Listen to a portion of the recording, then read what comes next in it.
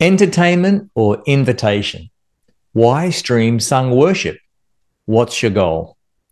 G'day, my name's Grant Norsworthy. I'm the founder and principal instructor for More Than Music Mentor. I provide online and on site training for the heart and the art of worshipping musicians. In this video, we're going to be talking about streaming, especially the broadcasting of the audio and video of church services. Um, you know, typically, the Christian church gathers on Sunday morning, but other times as well. And what's become really popular is for churches to stream their services, record the service, including the sung worship, and make that available to people over the internet. Typically, this is a live stream on YouTube or on Facebook, and putting it out to the world. And in many cases, these uh, these recordings remain available online indefinitely. And we're talking about the whole service. There's preaching, there's uh, Bible reading, there might be announcements, but also there's this sung worship or the musical component of the church service. Now, the purpose of my video today is to really invite you to ask yourself some big, tough questions about your streaming. And I want to speak to you a little bit about this idea of why versus what and how.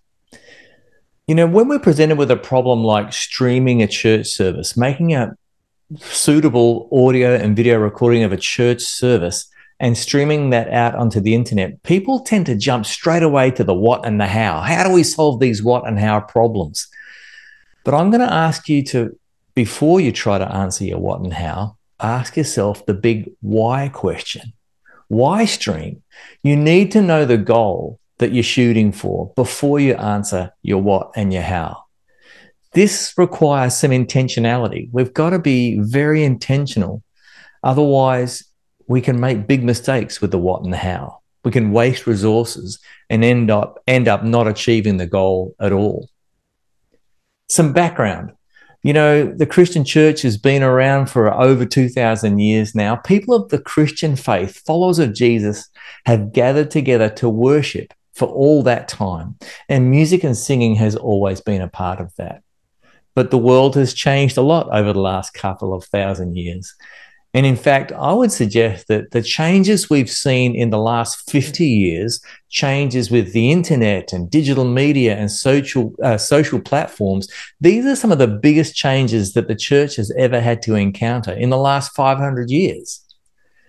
And as you will recall, I'm sure, it was around the year 2020, either side of that a little, depending on where you were living, where COVID 19 restrictions really had a huge impact on the Christian church and especially our physical gatherings. Now, even before 2020 and COVID 19, some of the bigger Christian churches, churches we might call mega churches, were already making video recordings of their services. And some of them were streaming those services, streaming them live.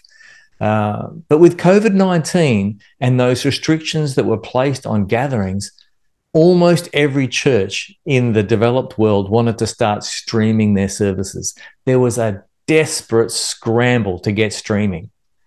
And at that time, pretty much any quality was good enough, no matter what size the church. Even smaller churches were trying to stream so that people, even though they couldn't gather in the one room together, could still stay connected, could still hear the sermon and uh, be part of some sort of online church services. Uh, now that we are free uh, to gather again, uh, COVID 19 seems to uh, have passed us by. Many churches are still streaming. Why? We can gather in the room together. There must be some really good reasons to continue because it's become almost ubiquitous that Christian churches want to stream their services, want to video record them and make them available, broadcast them widely online. Uh, even tiny little home churches, in some cases, are wanting to stream their services. You know, it's post COVID, and uh, I think a lot of us are looking at the quality of our stream and wanting to improve it, wanting to make it better because what was okay during COVID 19, during that desperate scramble, may not be the quality we're looking for now. Uh, maybe that's why you're watching this video right now. But let's be clear about something before I continue. I'm not a technician and I'm certainly not a salesman. Uh, I'm a musician Uh, I'm not going to be on this video telling you what gear to buy so that you, you can take your stream quality to the next level. Um, I'm not going to be doing that. See, More Than Music Mentor provides training online and on site for the heart and the art of worshiping musicians and technicians. Music is my special interest and how music and tech work together. You know, the promise I make to people who uh, have me do some training is that I can improve musicality, increase participation, instill unity, and inspire worship. I'm most interested in what's actually happening in the room before the internet and before a camera lens. What's happening in the room before the audio leaves the mixing console and heads towards your stream? I'm interested in that. But I will be sharing ways to improve your stream. But I'm going to be talking mainly about improving the source material. What are we actually seeing in the room that the camera is picking up? What are we hearing in the room that the microphones are picking up and are making their way to the stream?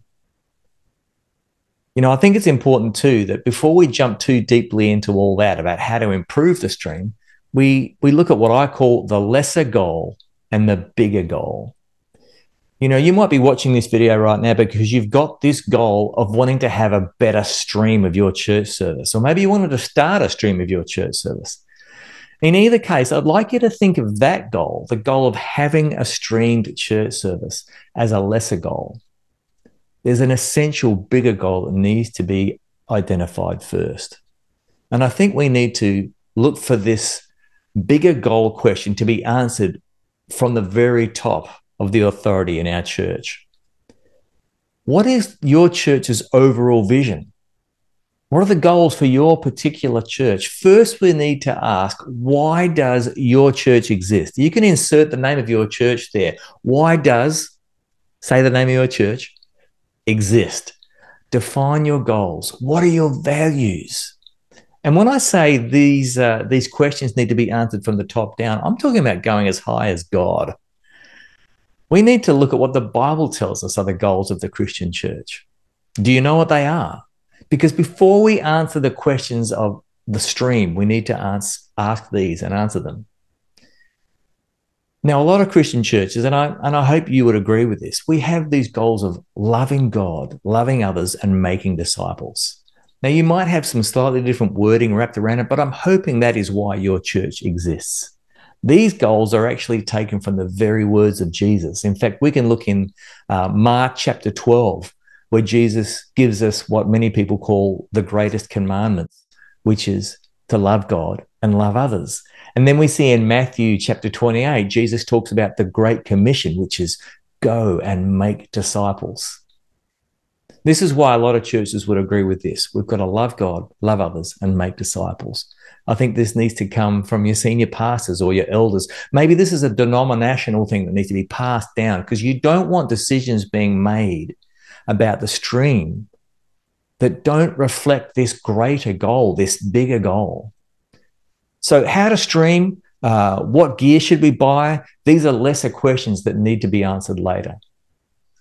We must not allow streaming or anything else to tear us away from that bigger goal. So let's take a big, distant look, I guess, at the Christian church in the developed world and uh, speak about that in regard to streaming. Uh, I'm going to give you a couple of facts and figures that come from the Barna Group. Uh, they're a really well respected group in the United States who do all sorts of research, including research and statistics about the Christian church. And they published a study in 2016 called State of Church. Now, 2016 is a few years ago. I, I grant you that. Uh, and it's these are American statistics as well. This is pre-COVID, but I think these numbers are still worth us keeping in mind because I'm not sure they will have shifted too much in the in the intervening years. But that study, State of Church from Barna, told us that only 8% of Americans who regularly attend church services are part of a congregation of a thousand or more people.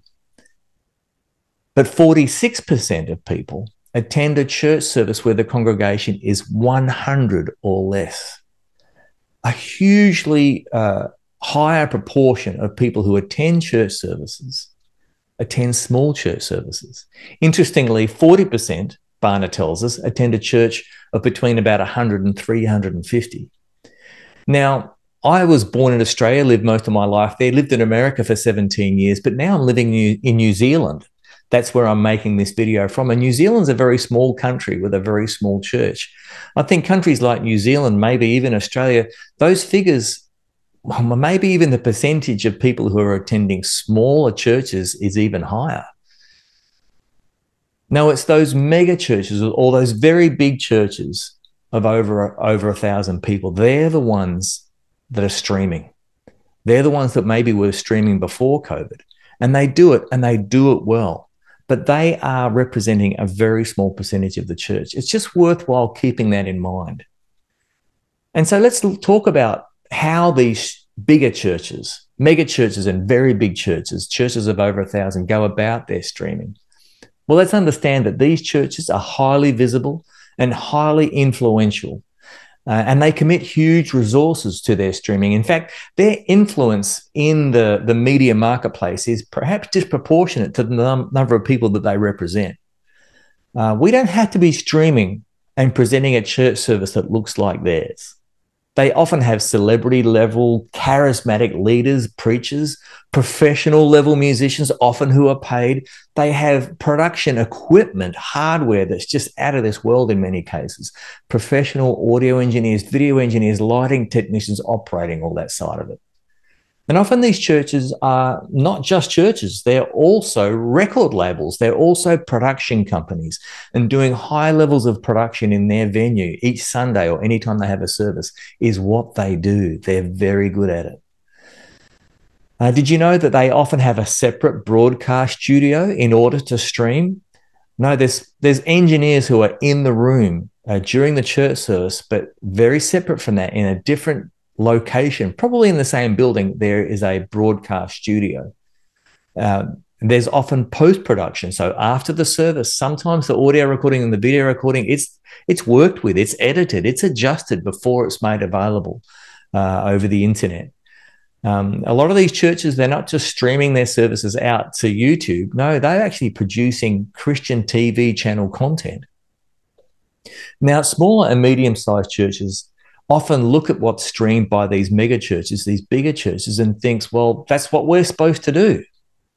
But I'd like to say to you really clearly if you are part of a smaller church, even a medium sized church, please don't try and compete. Uh, most likely you can't anyway, but I don't think it's even our role to compete against that. Now, I have to believe, and I hope you do too, that these extra big churches, these large and even mega churches, they share the same sort of goals that we do in medium sized and smaller churches. They exist to love God, to love others, and make disciples. These are their values. But they have decided that streaming and streaming at the quality that they are helps them fulfill that goal, helps them fulfill that value.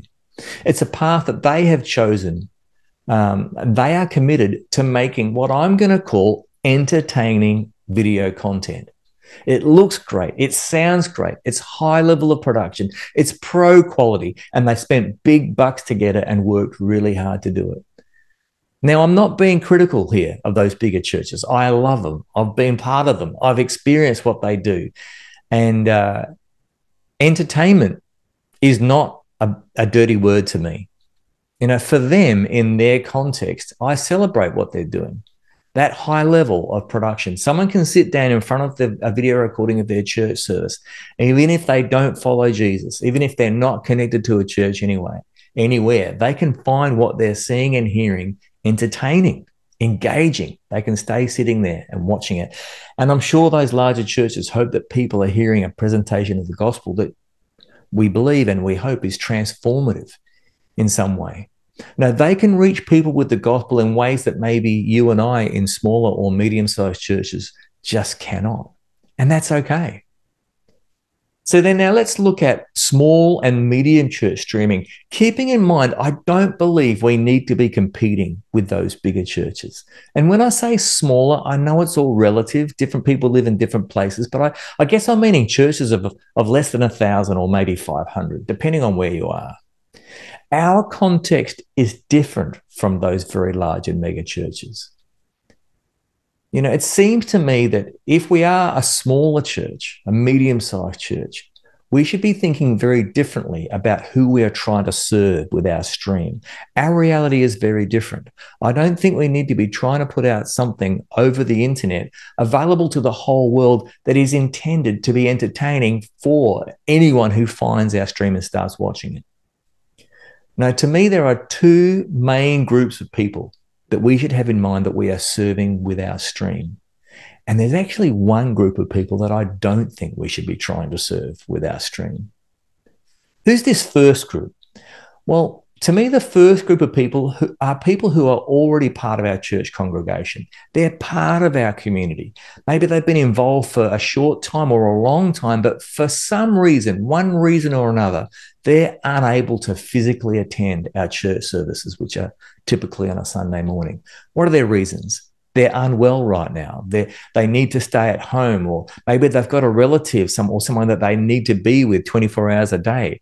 Um, maybe they work on Sunday mornings. Maybe they work every Sunday morning. They're part of the small group on Tuesday, but they can't be there at the services. Maybe there are some people who are traveling, or maybe people who spend months in a different part of the world or a different part of the country during those colder, colder seasons for whatever reason, there are this there's this group of people who want to stay connected with us, but they can't physically be in the room with us. There's a group of people we need to be serving. But there's a second group of people that I think we need to be serving with our stream. And I actually think this second group is the main reason why a lot of churches, even of smaller sizes, want to keep streaming. These are the people who actually live within a geographical location that makes them within range of our church building where we meet. They could be there, but they are not currently affiliated with a particular church, and we would like them to call our church home. Yes, they, they live in our local area. Now, they might be seekers, people who are interested to find out more about Jesus, what it means to live life as a Christ follower. Uh, maybe they're looking for their first church family. But more than likely, people in this second group, they, they have moved to your area probably pretty recently from somewhere else. They can't stay connected with their, their previous church because they've moved too far away. And some of these second group people might be people who, for one reason or another, do not want to keep attending another church. For some reason, they feel like they need to leave.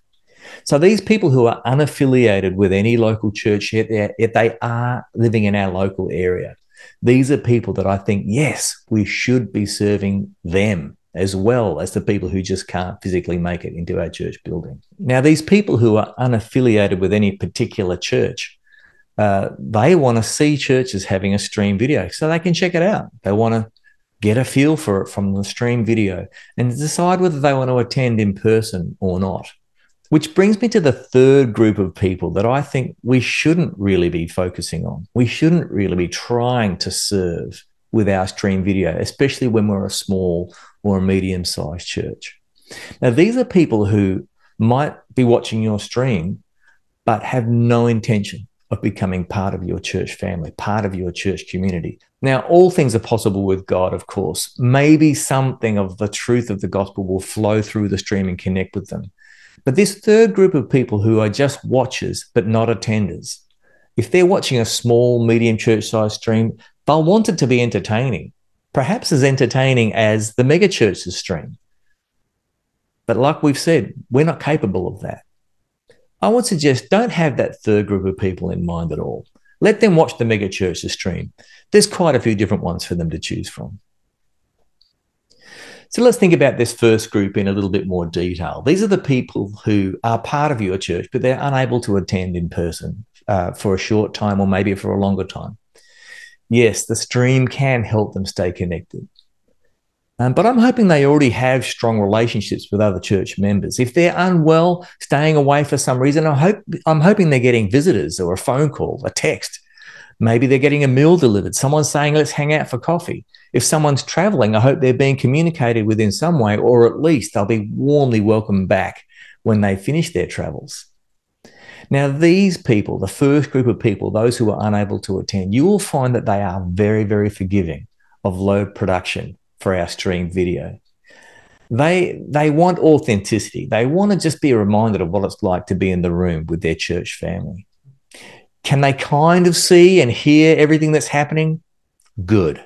If that's happening, then we've checked that box. They are being served.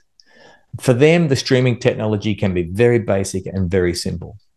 Now, this might just be my opinion, but I think, especially smaller churches, the best and easiest way you can stream for this first group of people is just to set up a phone, put it on a clamp, on a mic stand, frame it really well, position it well, and just use the camera from the phone and even the mic from the phone to record what's happening in the room.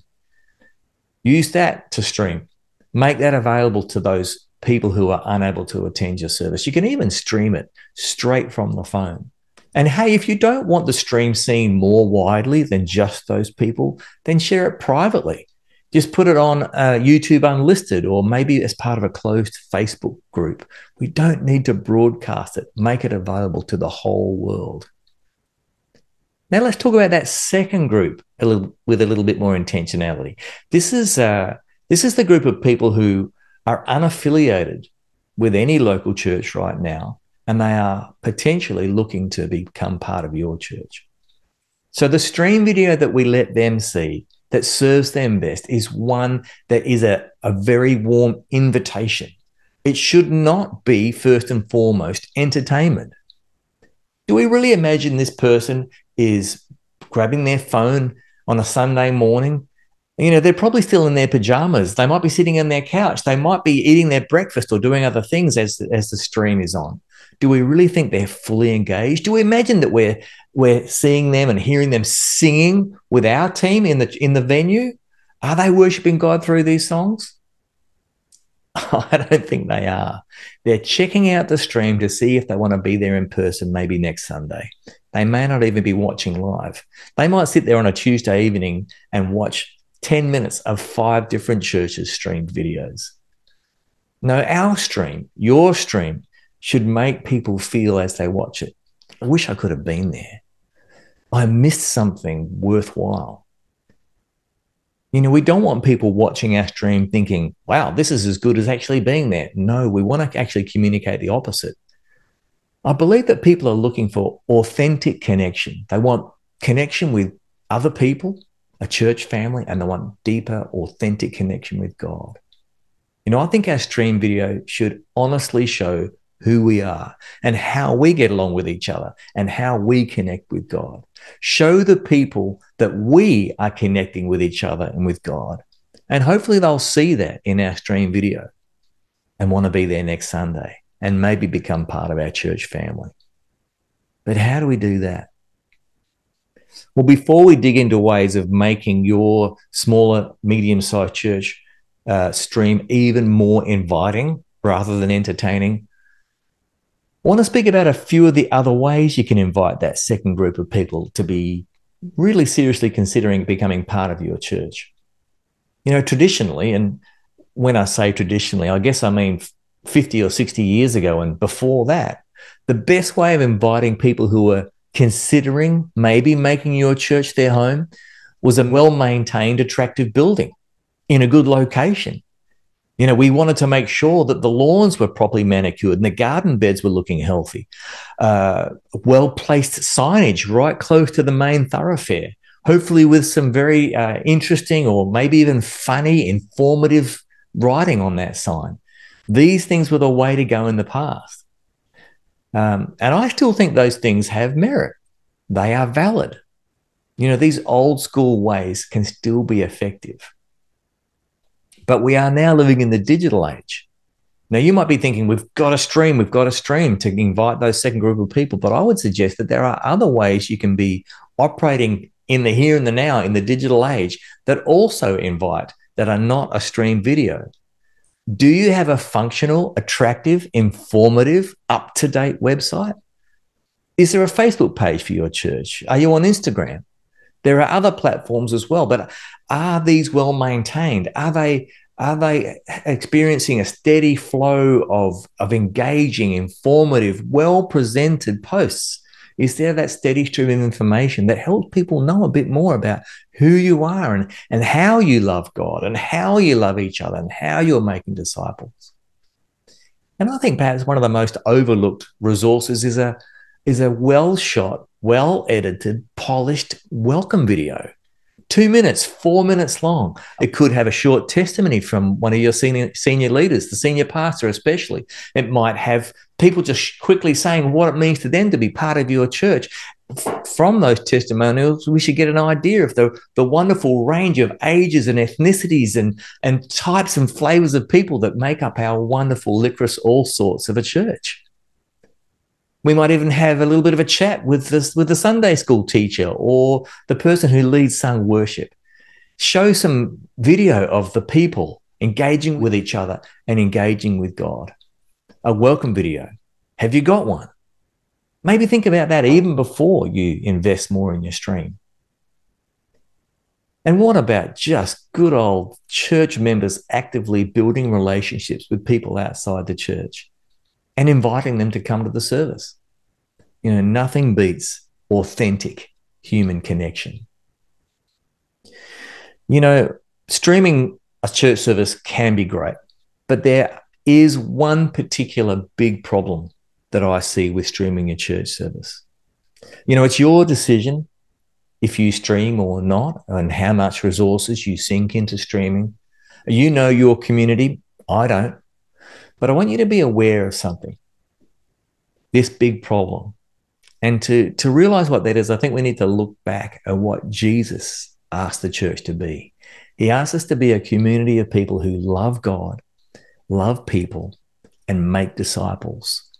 And you'll notice that each of these goals that Jesus puts before the church starts with a verb, a doing word love, love, make, Verbs cannot be done by passive spectators. And streaming can feed the consumer mentality. Just sitting in front of a screen and watching a sermon, watching a Bible reading, watching people worship God through songs on our behalf can cultivate spectators rather than participants. Yeah, the church does not need viewers. We need doers. You know, I think it's an easy slide.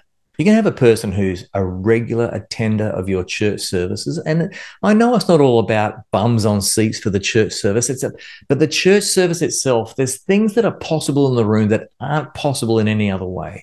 Yes, there are other ways that we engage with each other, hopefully throughout the week that it is very easy for someone to slip from regular attendance to your services to attending sometimes and viewing a couple when they can't make it, to only viewing, to then maybe viewing our stream and somebody else's from time to time, until very easily slipping to become a former churchgoer who watches a streamed video from time to time. You know, a person who participates in our Sunday gatherings. And I'm going to say a, a, person who's, especially the person who participates in the sung worship of God, this is my bias for the music. I think that person is more likely to have deep connections with God and deep connections with their church family, horizontal and vertical connections. And I think that person is more likely to participate in other areas of ministry.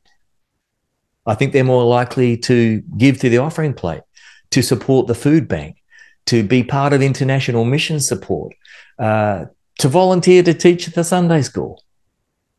How can we communicate this participation and involvement in our stream? So you've decided to stream. Well done. Uh, and it is true that live streaming is getting more affordable and easier.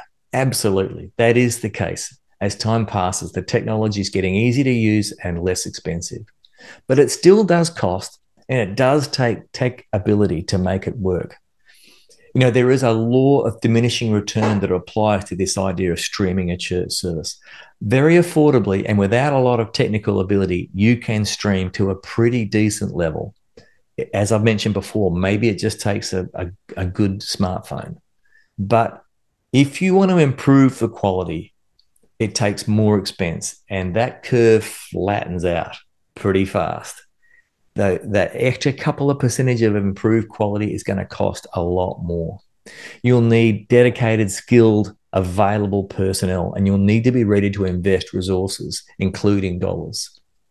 So, how do we get the biggest improvements? How do we get the biggest bang for our buck and biggest bang for our effort? I don't think it's by buying the latest, greatest camera or lens or microphones or mixing console. I don't think it's from hiring production professionals, audio technicians, lighting technicians, videographers. No, my belief is that we can make the biggest improvement by improving the quality and the suitability of the source material. What is actually happening in the room? What does it look like? And what is the sound that we are making? So, a little caveat before I jump into these things that I think are going to improve your stream. Uh, I need to remind you that I'm not a technician and I'm not a salesman, but I feel like I do know quite a bit about connection and how music facilitates connection and how music and technology must work together to maximize the invitation that music and our church service can offer comparing a streamed church service, watching a church service on a vi- on a video screen of some sort, compared to being in there in the room, it seems to me that the sermon and other elements of our service, like maybe the Bible reading or the announcements, those things are pretty much as good on the stream as compared to being in the room, but not the music. No way. Watching a, a screen for sung worship of a church family, that is nowhere near as good as being in the room. The full experience only comes if you are actually there in the room with us. Sure, this is my bias, but music as part of our church service, music that is an expression of the worth of Almighty God, especially vibrant congregational singing, your church family singing passionate praises to God, prayers to God, reminders of truth about God.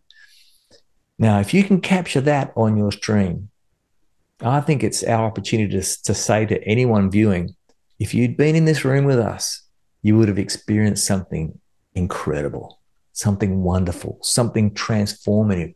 And you missed out because you decided to just watch the stream and not actually be here. If we can communicate that, people want to be there next Sunday. So, how do we improve the video source material? You know, I think the mistake that I see happening over and over again when I watch streamed videos of church services, and I watch a lot of them, I, I have to watch them as part of my job. These smaller churches make the mistake of, I think, trying as best they can to copy the style of the mega church. It's a trap. They're trying to make concert like entertainment and failing. You know, the video, the shot video exclusively shows the platform who's speaking, who's singing, who's playing an instrument. Even multi cameras will show singers, band members, and speakers only. Light bathes the platform. The congregation, like a concert audience, is often in darkness. But the invitation to be coming through our video rather than a, a poor attempt at entertainment, I would suggest a very different approach. Yes, the video needs to show who is speaking at any given time sermon, announcements, Bible reading. Uh, we need to see whatever they're showing to support what they're saying that's on the screens, whether that be images or text. I think it's also very important that we see the leader of sung worship and their supporting team, the, the instrumentalists. We, we would like to see the lyrics of the song, and that's very possible to, to do that. And these are important things to see. But the view that invites more than anything else, the camera shot that I believe and I hope you agree, will invite more than anything else is your church congregation passionately worshiping God through songs. Light them well. Shoot from behind the band towards the congregation. Shoot from the back of the room over the top of people's heads. Elevate the camera. Let us see the architecture, the room. Let us get a feel for what's really going on in this place. Now, you might be a vibrant, young, good looking bunch of very enthusiastic Pentecostals, but maybe not. Whoever you are, be who you are. What we need to see people who believe what they're singing, who are passionate about what they're singing. They don't have to be leaping around or even raising their hands. Be who you are. If your people raise their hands, wonderful, well and good.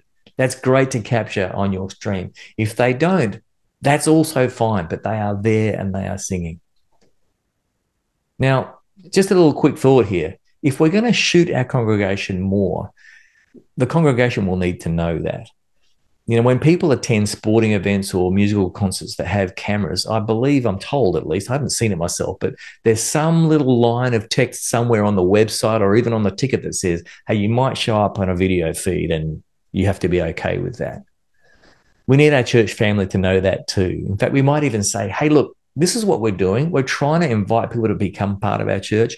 We want to have people who are vibrant and passionately worshiping God through these songs. Um, if you don't want to be seen by our video cameras that are going to be capturing that, then here's a little area. Set aside some seats for those who perhaps don't want to be in the video. And how about the audio? How do we improve the audio source material?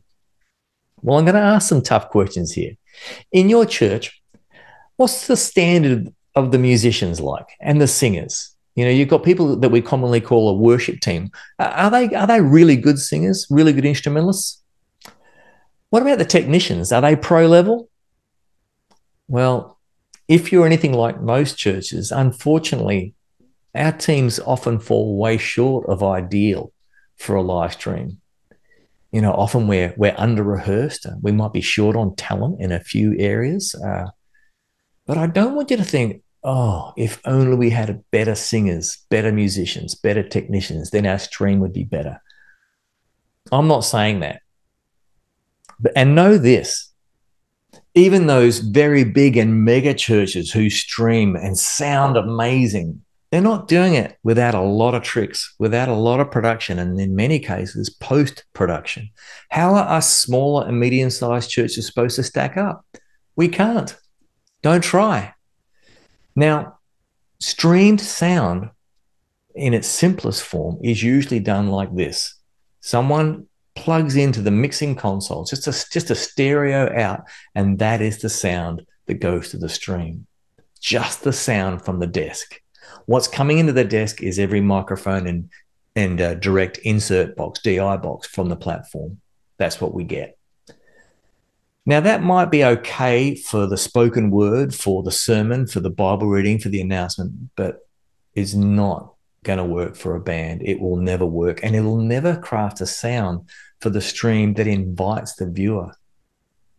I think it's very common that someone mixes the sound, an audio engineer mixes sound, the sound in the room during the church service, and it sounds really good. It sounds vibrant. It sounds real. And it, but then we listen after the fact to the sound on the stream, and it's shocking how different it is. It can be demoralizing. No, the sound of a room is very, very forgiving. The, the, the, walls and the windows and the surfaces, and especially the sound of the congregation and the energy of being in the room help us forgive what's actually in the mix. But we scoop all those things away and leave just what's going through the desk. It'll sound terrible. It's never good. Now, some of these digital desks have multiple layers. You can have a mix that's for the room and another mix for the stream. And I often see sound engineers with their headphones on, with their hands over their headphones, so almost doing the, the hear no evil monkey look, trying to mix the sound for the stream in the room. Again, I would say that is almost impossible, even for a professional, and it's impossible for an amateur. Now, you might be able to resource and have ne- another console in another location, you're getting a better chance there to get it right. But even then, it can be extremely uh, extremely difficult to get a sound that's really going to invite a listener who's watching the stream. No, there's something that happens in the room that really sets our music alive, m- brings about that connection. Now, what we can do is add some ambient mics uh, we need to have some microphones, probably, uh, you know, condenser mics or small diaphragm condenser mics pointing at the congregation. We want to have the sound of the room, and we especially want to have the sound of the voice of the congregation. We need to hear the people singing as an expression of worship to God. The sound of the congregation singing these songs that are prayers to God and praises of God and reminders of truth about God, that is the sound that invites a viewer to want to be part of that choir. It will not be your band on its own. Yes, we want to hear the band, but that band sound should be supporting the voice of the congregation. This is all important. That must be leaned on heavily for the stream, the sound of the room. It'll mask uh, uh, uh all manner of errors in our in our audio from our singers and instrumentalists. It'll help disguise it. Now we're not trying to hide, but we're trying to create a much more realistic uh, sound of what actually was happening in the room. So our front of house mix must support the voice of the congregation. The mix that goes to the stream from the digital channels on the desk must support the voice of the congregation.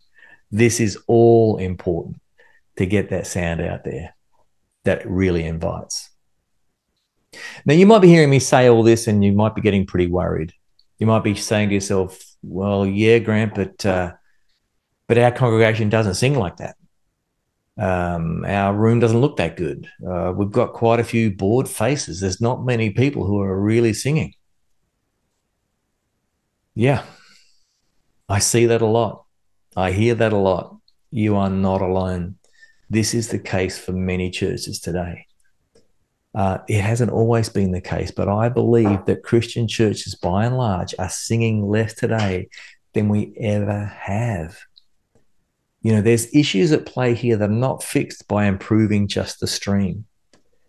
Uh, now, there are exceptions. There are some churches who are singing wonderfully well.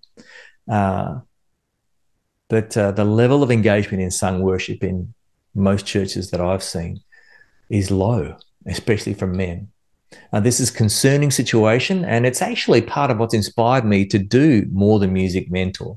You see, from my perspective, I believe strongly that there's a, there's a confusion in the Christian church today about what it really means to worship God, and what is the role of music as one of the expressions of worship.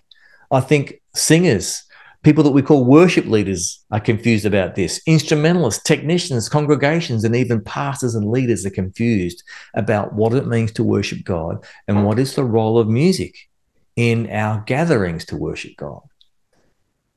You know, I think there's a bit of a entertainment versus invitation going on with how we're leading sung worship as well. So I've been speaking about wanting to improve the source material. Well, the biggest improvement you can make to your source material is to get your congregation singing, passionately singing, singing in a way that shows on their faces at least, and maybe with more of their body as well.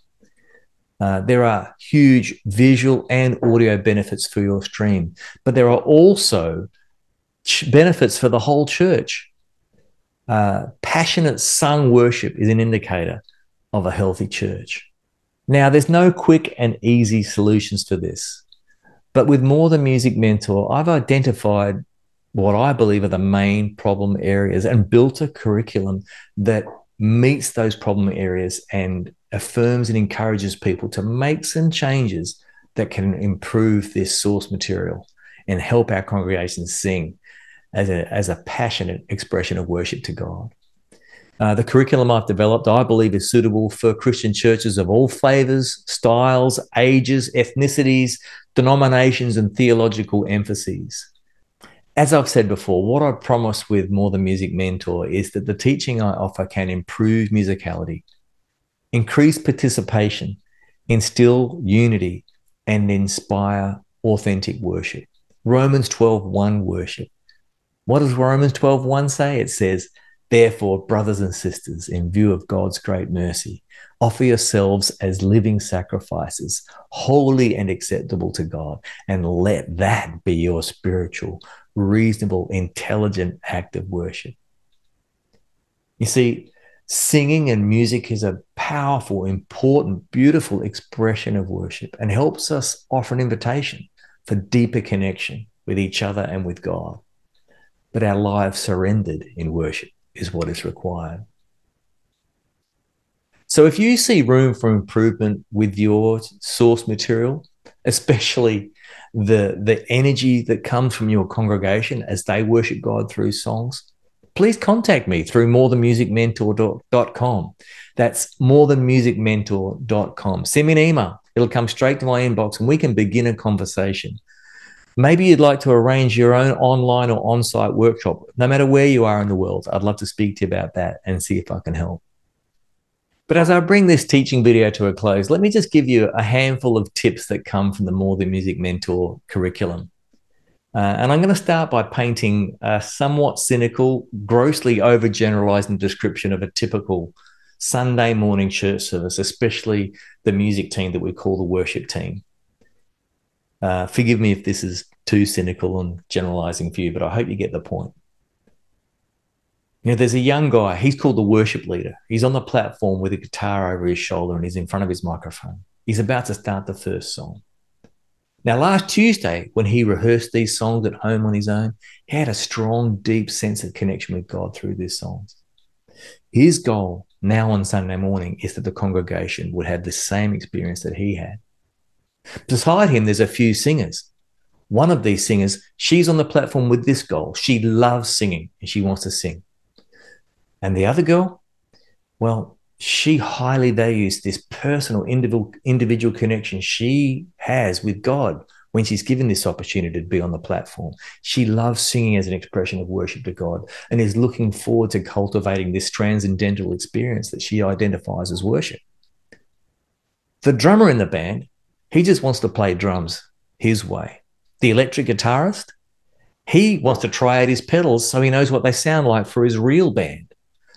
The musical director bass player just wants the band to play these songs without any mistakes for once. The sound engineer, his goal is to make this mix sound as close to Spotify as possible. Now, the projectionist, they're there advancing lyric slides because they didn't know how to say no. There's people tugging in all different directions. But, but what if we all agreed what if we all agreed that the worship of God is a full life response and that singing and gathering together, singing prayers to God is an important expression of worship? It's one of the ways we worship God. And the humanly measurable goal we want when we have these songs in our gatherings is that our, our whole congregation would sing together. We want to sing together, yes, as an expression of worship to God. Some of us may have deep connection with God through that moment, experiences of His manifest presence.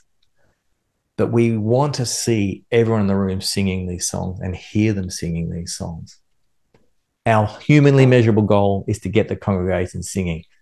Um, and here are some things that we can do to help that to happen. We need to have a shorter repertoire of songs. Because one of the main reasons why people in our congregation are singing is because they don't know half the songs that are being led. A lot of these songs are not singable. What if we reduce the number of songs to just those that are easily singable by Jack and Jill congregant? Most of the songs need to be really well known. We need to have fewer new songs. Uh, we need to be having songs used in our Sunday services with congregational participation as the main consideration rather than the preferences of someone in the band. We need to think about the key choice.